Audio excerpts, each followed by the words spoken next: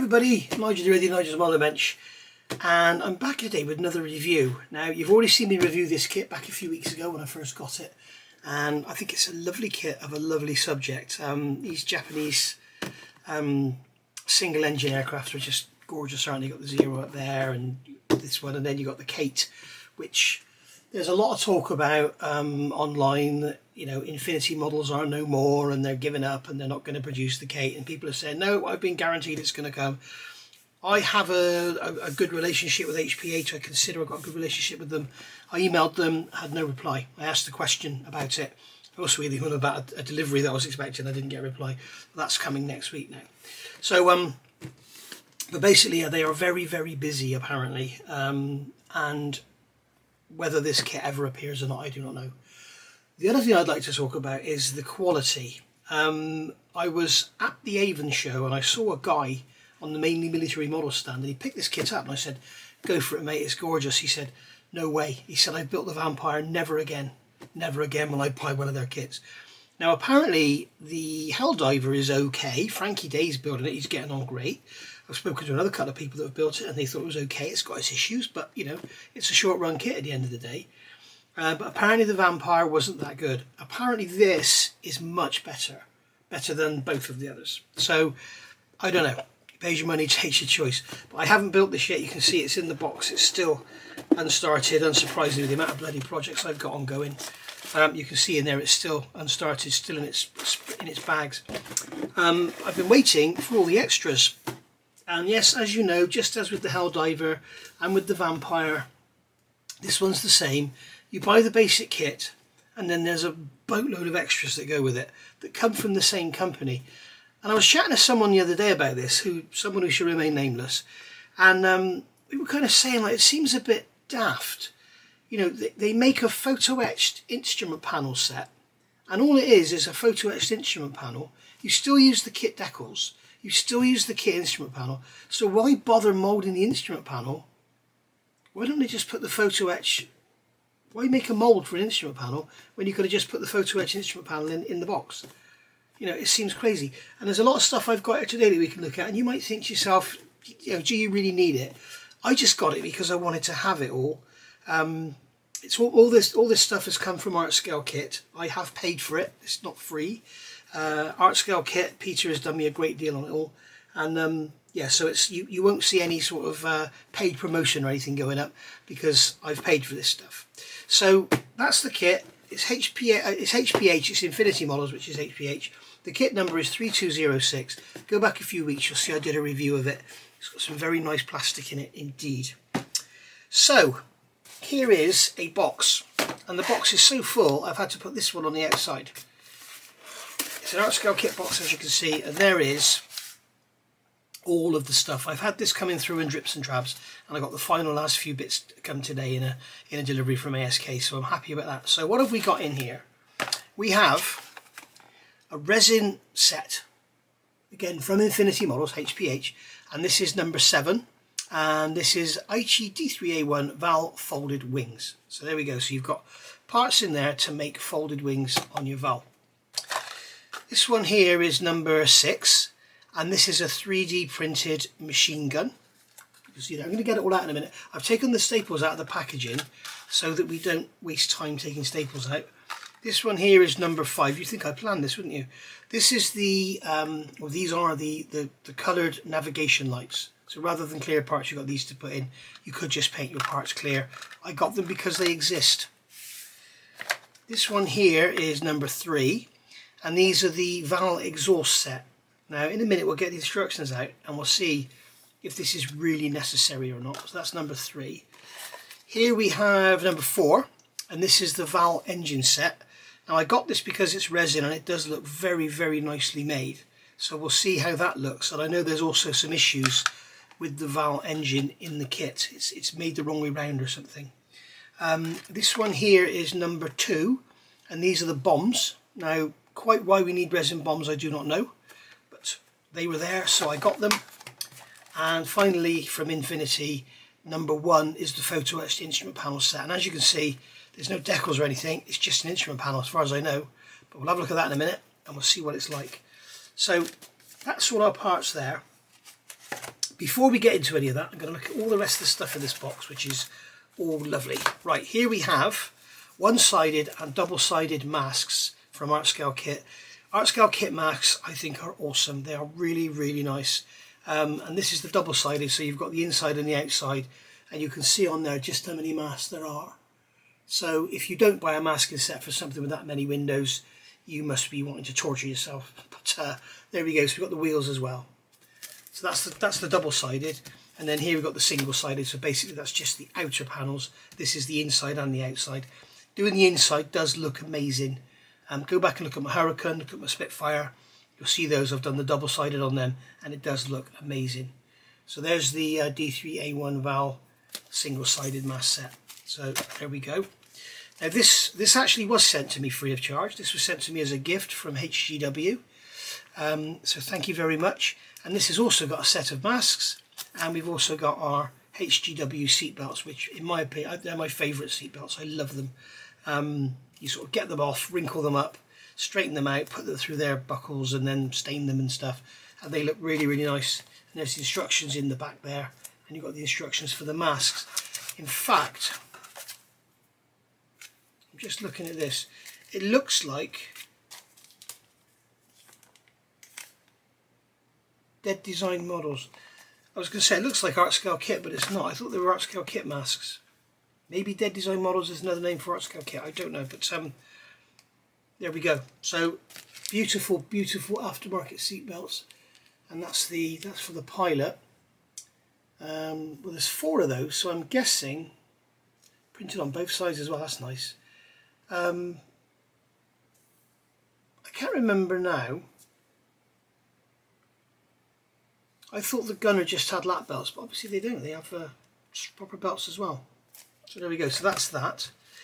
Here we have the Art Scale Kit Aichi D3A1 Val stencils. So this is going to be all your little stencils for all going all over the aircraft. And they are absolutely amazing. And if you remember, I reviewed these before. And in one of these sets, you also get stencils.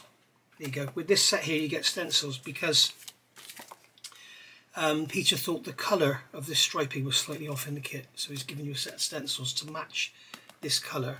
And these stencils match the colour of the Hinomarus, whatever you call them, in the um, in the kit. So the kit ones he thinks are a bit too bright, that's the correct colour. So you can see the difference in the colour there. So that's how thoughtful Peter is.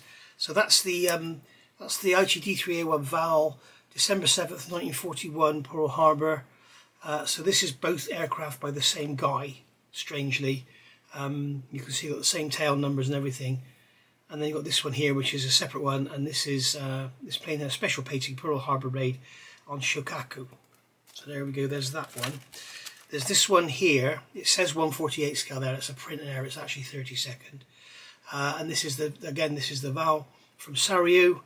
Um, this one doesn't say where it's coming from. It's got 35. Oh, okay. It's this. It's a. It's not aircraft carrier board, and this one is Akagi Battle of Midway, 4th of June 1942. That is the one I will do because Midway is my thing, and Akagi is my favourite ship the, on the planet.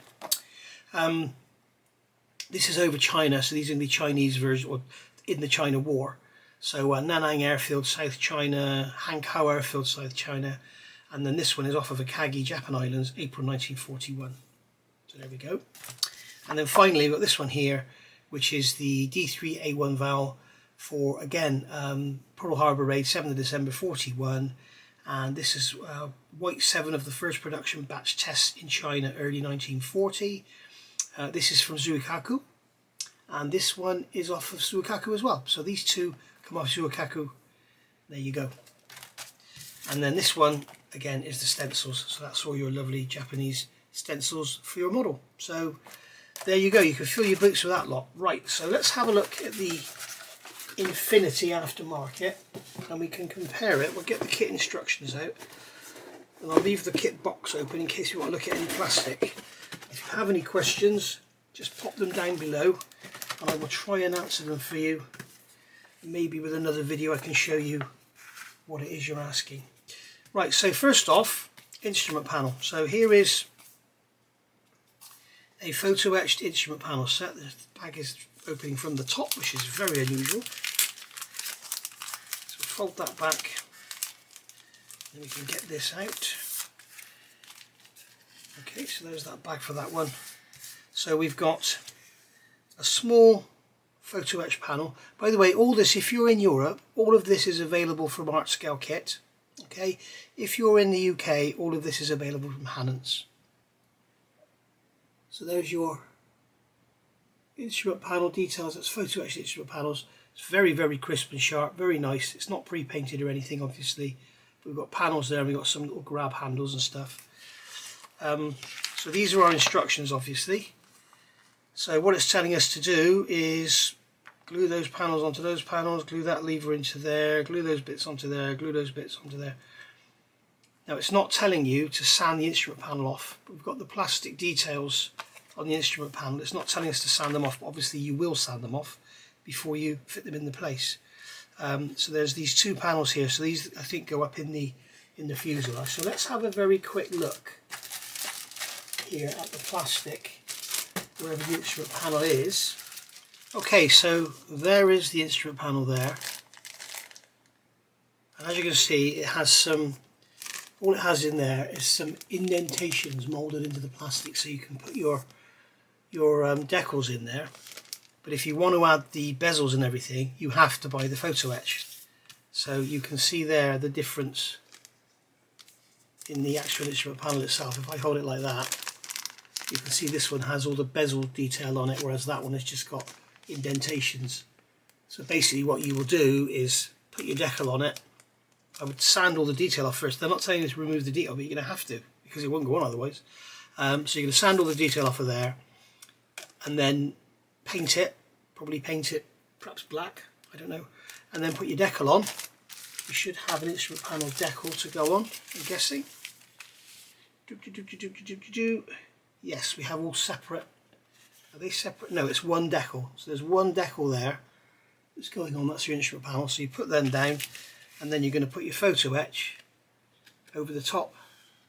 And it's going to look like that kind of so you can see that's very nice indeed so they're trying to do the Airscale type thing but, um, again it's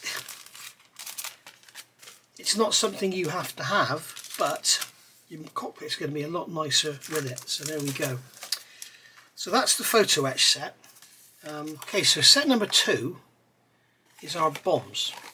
So we've got, basically, we've got resin bombs. We've got a set of instructions. We've got three resin cast, not printed bombs. Okay and a simple photo etch fret which is our tails for our bombs and there's some straps and stuff by the look of it so that's those and then we've got our instructions here that is telling us how it all goes together where the parts go and everything and tell us to use the kit parts here kit part there so you'd have totally given you photo etch um, um, spinners wouldn't you but never mind uh, and you've got the supports there for the tails going in between the fins so there we are so let's have a look at the kit bombs, if indeed the kit has any bombs. Uh, does it have any bombs? Maybe it doesn't. Let's have a look. Yes, it has kit bombs. The kit has P parts as well. And you've got a PE part going on the front. And they're telling you to use that PE part in this set because they're not giving you the PE part. So let's have a quick look at the bombs and see what they're like. And see if the resin ones are really necessary. So you can see there, there's the there's the bigger of the two bombs and it's got lines on it and a seam to deal with and the the fins are moulded in plastic rather than photo etch. But um, you can see this is a lot crisper. It's also a different shape.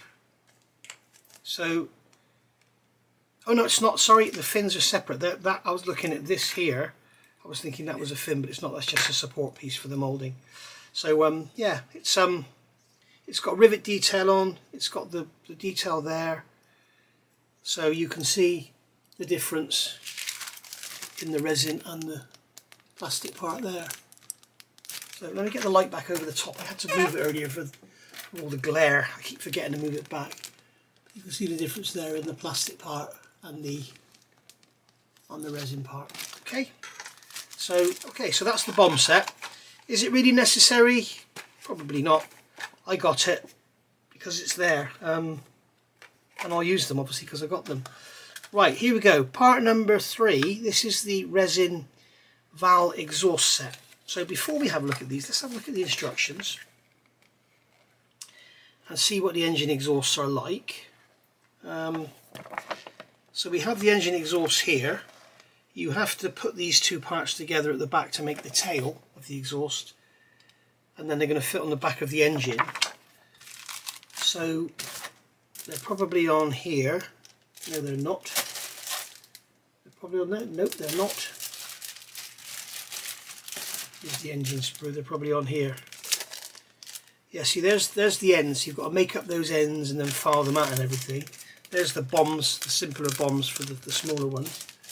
Um, here's the exhaust here. So we've got these moulded parts here. And when we compare them to the cast parts, we can see there's a lot more detail.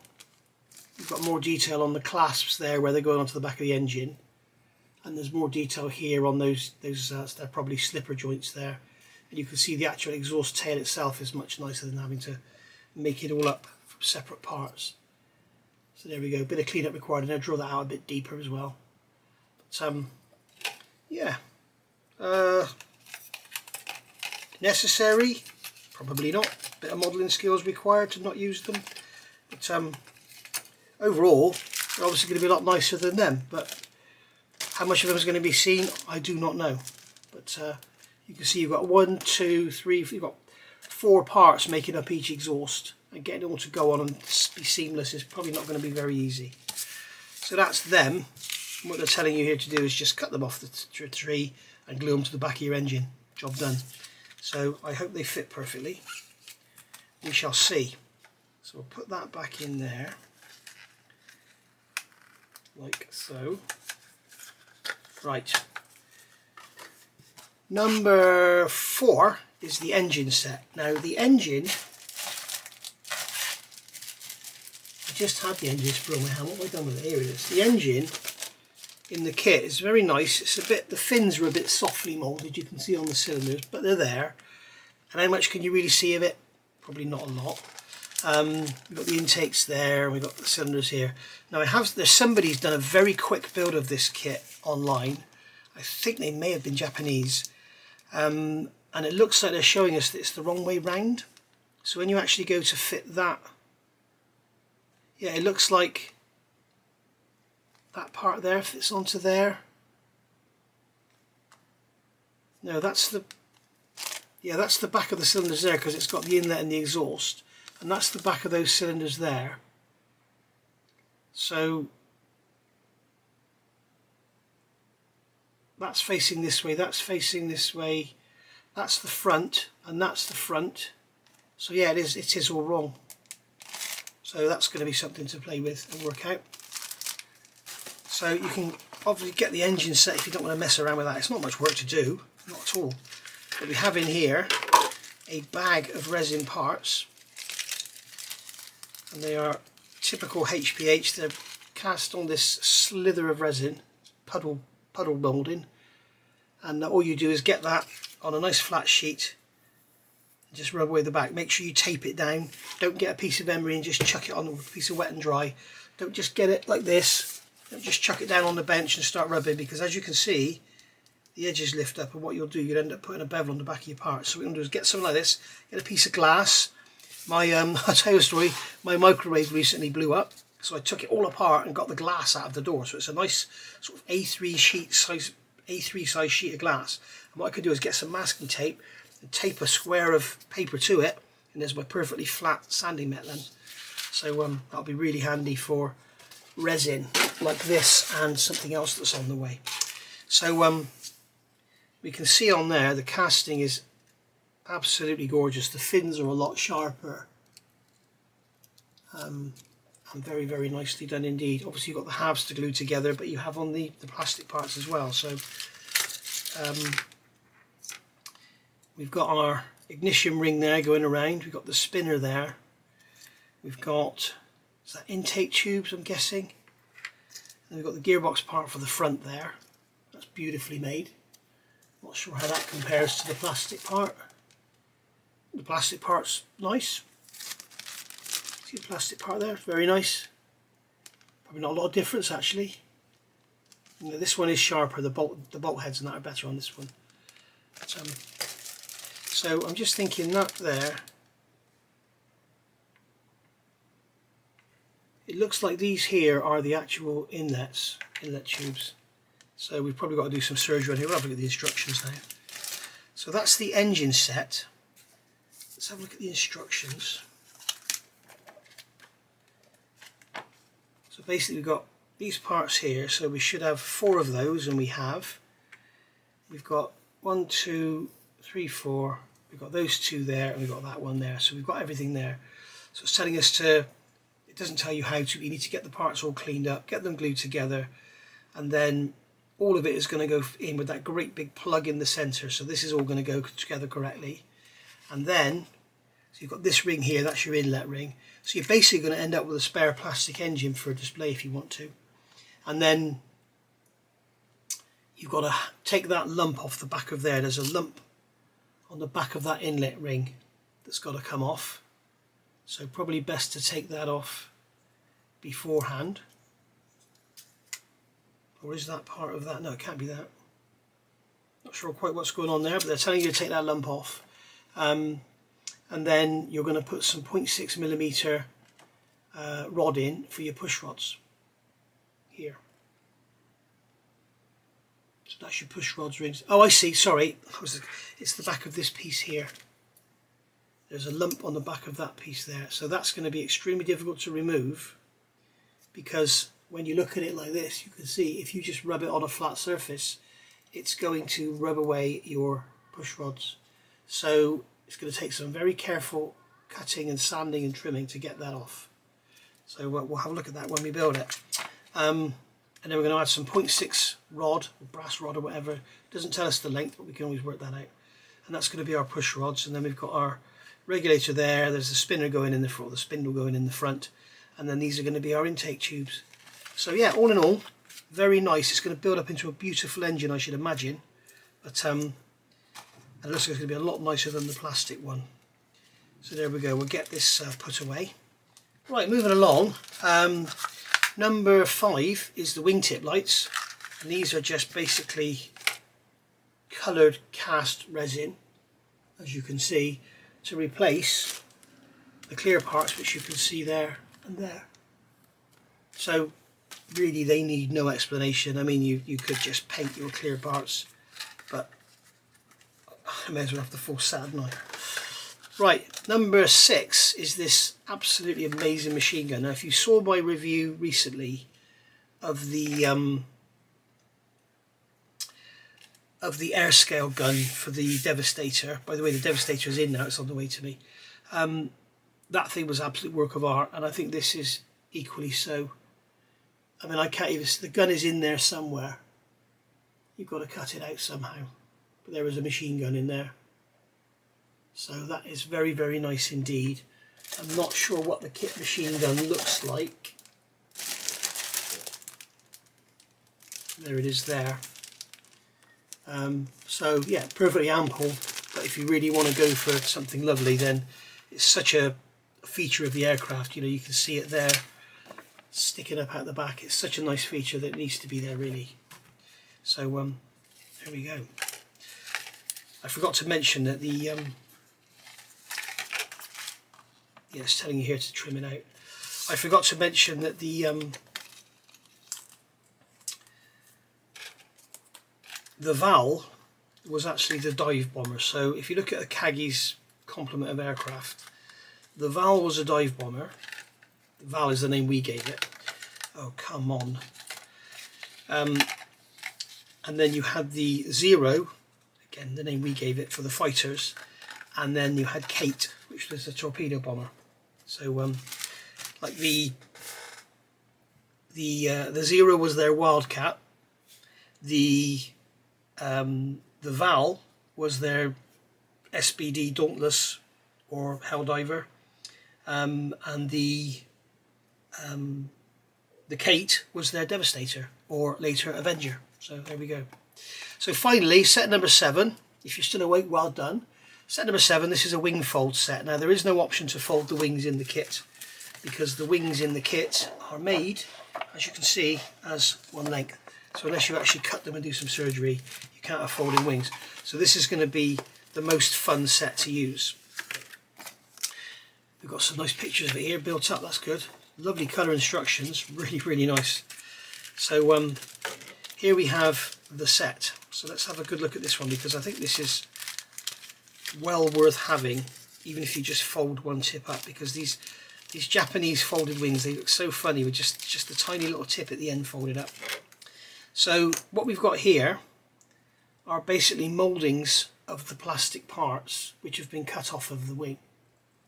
Okay so what we're going to do is cut the wing to fit this in and then we've got all the interior detail of the actual wing fold there in resin so I don't know how strong it's going to be um, I don't know if we're going to be using kit parts, we'll have a look at the instructions in a minute. We've got a lot of very fine, tiny little parts there, ribbing and, and stuff that's going to go in. So let's have a look at the instructions. So we've got, um, what have we got here? This is telling us what the set should include. So we've got two wings there, we've got those resin parts there, those resin parts there, and two of those there, all puddle moulded. So that's all good. And then it's telling us here to cut the wings. So I have wings here, and we can see on here, if I get one of these wings out, let me have it. You can see on here we have these panel lines to cut to on there. The same on here. So you basically cut this side of the line and then sand and trim back to it. And this, keep check fitting your, your wing onto it. That's the wrong one, that's the right one just keep checking it and get a nice fit. It doesn't need to be perfect because it's not going on like that, it's going on like that, it? 90 degrees to it. So there we go. Um, and then what we've got to do is come along and shave the inside out and thin it down to half a mil thick. And I've got some ideas for that when I come to do it. I'll, I'll share it with you. But, um, if I ever get around to it, there's so much you need to get on with. So uh, there we go. So that's that. Um, and then going to step two. Okay, we're going to fit these, we're going to fit this part here. Six on the other side is five, so that's going to be these ribs here I'm pointing at now. And then we've got these little ribs on the bottom. And what we're doing is basically building up an inner wing structure so that when we look inside, when the wing's up, you're going to see the inner structure. So that is absolutely stunning. That's really, really nice. And you're going to close the wing up and that's what you're going to see inside. Then we are going to cut the ailerons. Okay, so you're going to cut the aileron in a panel line. Are the ailerons on here? Yes, they are. Is that ailerons or flaps? Yeah, there's the panel line there. So we're going to cut them on the panel line. And we're going to do the same with them. We're going to have, them with resin parts going in. We've got resin parts there. We've got our cut off aileron there with resin parts inside it. And then we're moving on to here and you can see all this beautiful detail inside the wing there. It's going to look very impressive. And then there's the actuators there. And then you've got the these are going to be the hinges. Got the hinges there on the top. So that's those those bits that are raised from the surface there that I'm pointing at now. That's going to be your hinges. And then you're going to glue the wing onto that. So I don't quite know. Ah okay it's on here. So that is going to go into there somehow. It's the wrong way around now you idiot. That is going to go into there. And then when it closes up that's how it would go so you're going to put a metal rod in there as they're showing to act as the, the support. Okay, so there we go. Um, very interesting indeed. Not sure if they've got a metal rod going all the way across. We'll have a look at that when we come to do it, but uh, there's got to be other ways to make that stronger.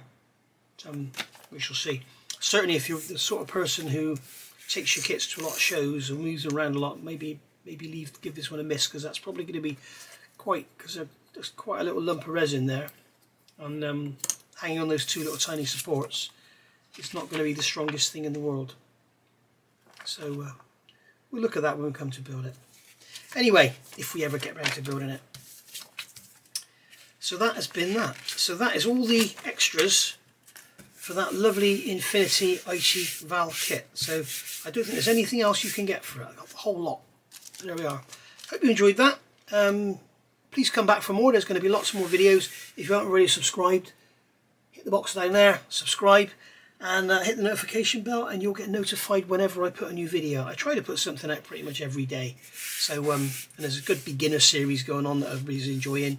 Currently building the 148th um, Airfix Sea King, the brand new one.